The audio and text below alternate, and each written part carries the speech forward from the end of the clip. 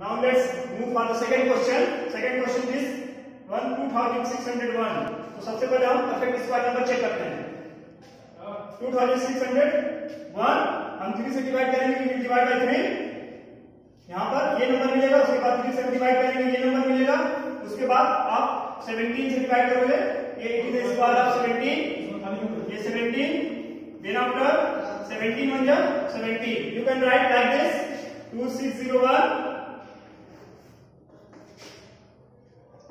3 into 3 into 17 into 17 you can make pair like this it is a perfect square number and after pairing you can take out a single single number 3 it is also single 70 17 into 3 51